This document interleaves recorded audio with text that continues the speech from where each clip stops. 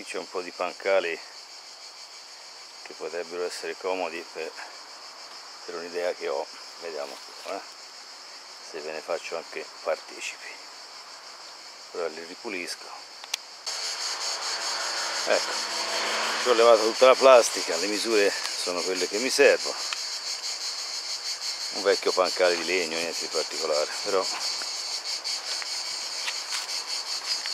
è utile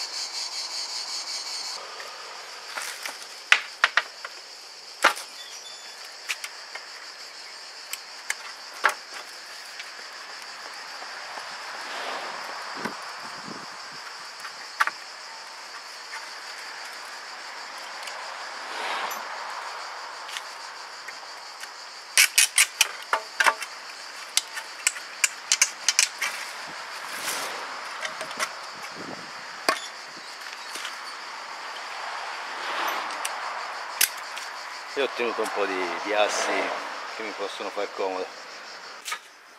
Ora facciamo un taglio a 45 gradi. Siccome è un legno grezzo può essere fatto tranquillamente anche con una sega a mano quindi non ci sono grossi problemi se il taglio non è proprio perfetto è proprio nello stile ecco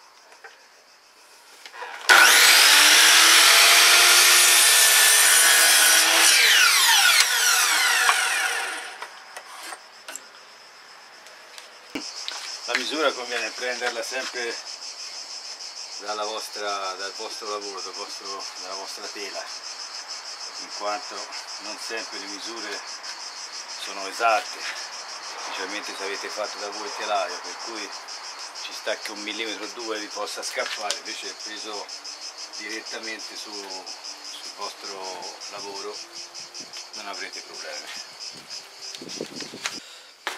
Bene, ora c'è la parte diciamo, di incollaggio della nostra, della nostra cornice. Procuratevi un piano dove poter lavorare, un po' di, di morsetti, più ne avete meglio è, colla vinilica, un pennello che stende la colla e poi un po' di pazienza per allineare e mettere in squadro il nostro, il nostro bellissimo lavoro.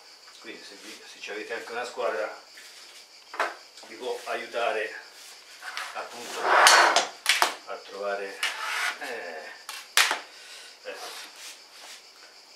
quindi con questo mettete proprio a posto la vostra cornice non vi preoccupate se c'è qualche mezzo millimetro di differenza tanto vedrete che si riesce poi a, a rufiare il tutto questa è una cornice molto particolare eh? come vedete è fatta con materiale non di, di recupero proprio di scarto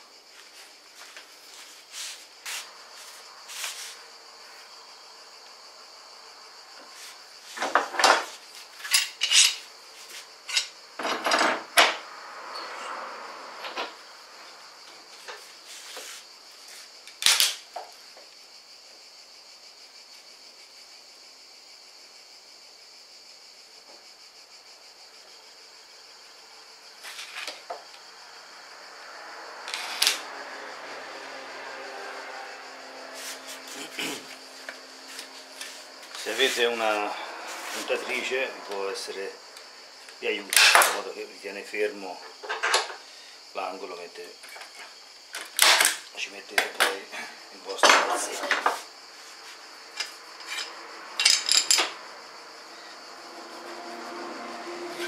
controlliamo. Ok. L'incollaggio generale è stato fatto preciso tutto sommato. Una volta che abbiamo incollato il nostro telaio, la nostra cornice, praticamente ci conviene fare una cosa, prendere il nostro, il nostro quadro, provarlo, Quindi prendiamo, ecco, lo prendiamo, lo proviamo se abbiamo preso bene le misure, spero di sì. Ok a posto. Quindi adesso dobbiamo fare in modo che il quadro si mantenga perché soltanto con la cornice che abbiamo fatto eh, avremo difficoltà dovremmo inventarci chiodi di traverso insomma non sarebbe un bel lavoro. Allora facciamo prendiamo quattro listelli eh, recuperate anche questi qui oppure insomma qualcosa se non ce l'avete potete anche comprarlo e comunque sono quattro listelli dello spessore che volete basta che siano almeno uguali o superiori a quello della, del telaio de, del quadro. E poi lo mettiamo a contornare diciamo così la parte interna. Così il quadro avevo modo di poterlo fermare. Quindi una volta fatto questo prendiamo la misura dove andrà il nostro stellino ecco.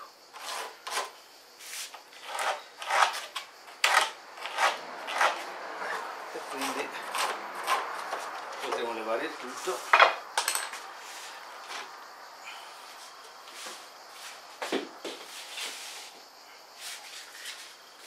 Potremo appunto levare il tutto e incollando i listelli conclude il lavoro di assemblaggio colla un paio di chiodi per fermare tutto e vai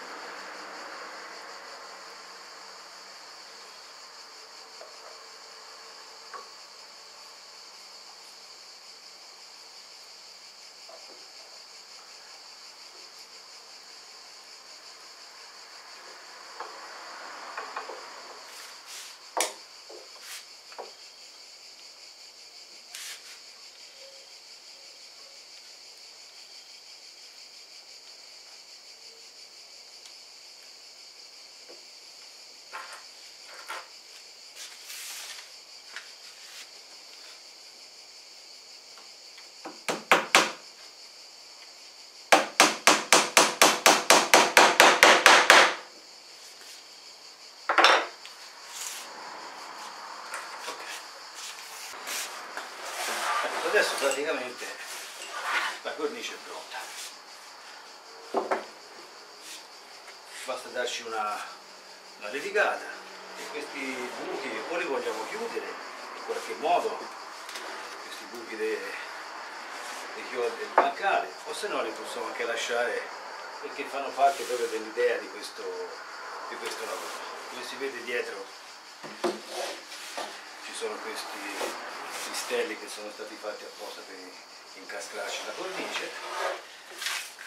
E il lavoro è finito. Poi adesso comunque andiamo avanti. Do una pulita con carta vetro grossa. E, e poi un po' di mordente lo lasciamo grezzo. Vediamo un po' com'è questo legno perché non è certo un legno di gran qualità. È un pino proprio di scarsissima qualità. Ma noi piace così questa volta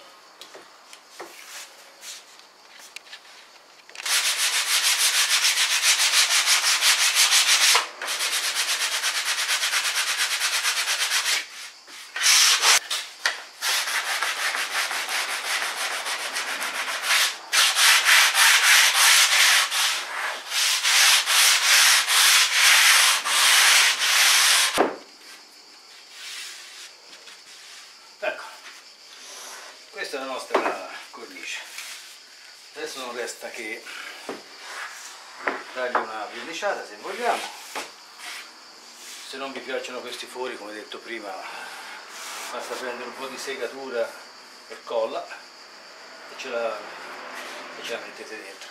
Così una volta asciugato si vedrà sì o no. Fatelo prima naturalmente di darci il colore quindi ecco. Prendete un po' di segatura, mettete prima la colla, un po' di segatura e poi ce la strisciate sopra e alla fine sembreranno quasi dei nodi, quindi non è un problema grosso.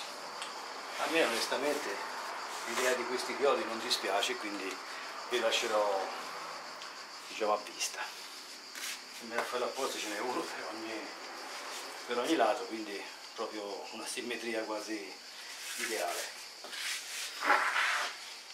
stata lisciata e ripulita soltanto diciamo, le parti a vista, quindi i lati interni, questi esterni, naturalmente la facciata.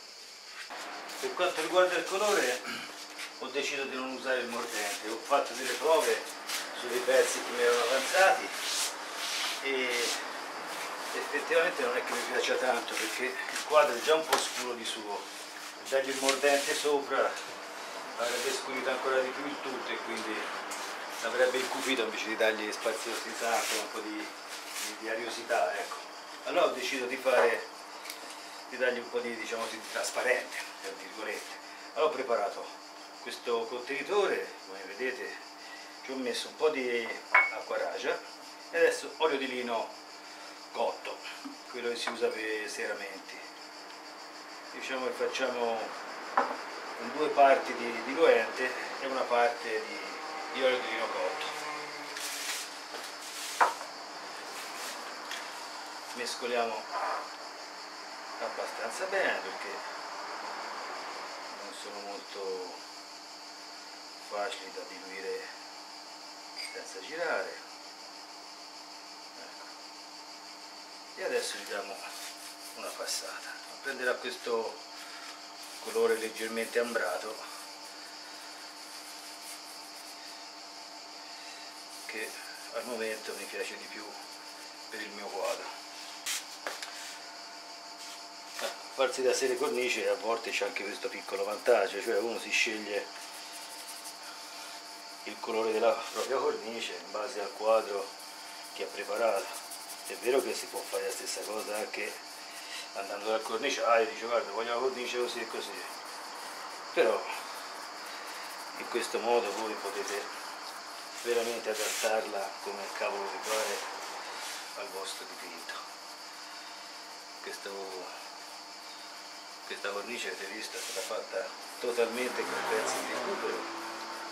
Questo è un semplice pianale dove sopra c'erano mattoni quindi molto molto spartano un legno veramente modestissimo.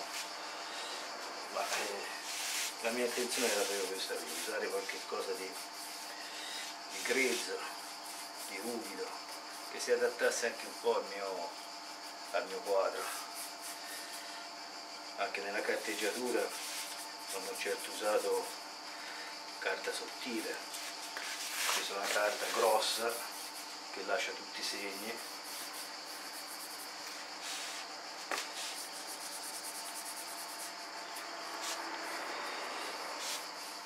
Ma è giusto per giocare un po' a fare il falegname, a fare il corniciaio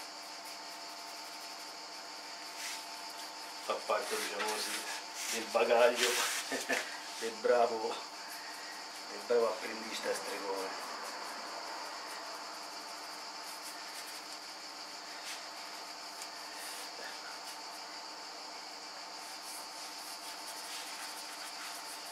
non c'è da darci tante mani naturalmente, basta una sola mano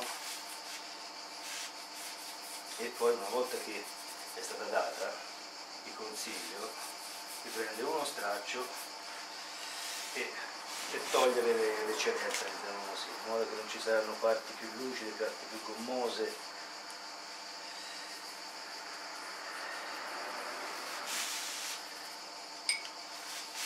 Una volta che avete finito di stendere il vostro olio di vino, potete prendere uno straccio e diciamo così lisciarlo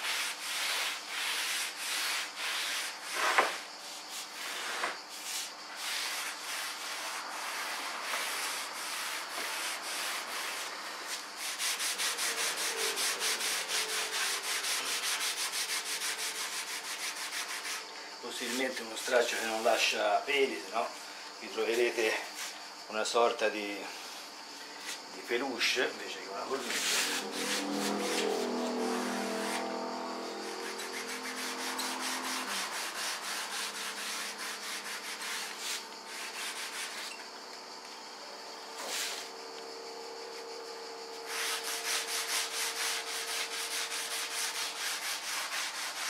adesso non resta che lasciarlo asciugare tranquillamente un paio d'ore e poi sarà pronto per essere utilizzato, quindi montarci il quadro sopra, metterci l'attaccaglia al punto giusto e quando mettete l'attaccaglia non vi conviene mai prendere la misura e poi fare il centro perché sicuramente 9, 9 su 10 sbaglierete. La cosa più, più utile da fare è, è, pesarlo il quadro, diciamo. Quindi praticamente una volta che ce l'avete lo, lo fate bilanciare con un chiodo, un cacciavite, un coltello, quello che volete. Ora c'ho qui c'ho il ventilatore che me lo sposta. Comunque ecco, lo mettete così in bilancia.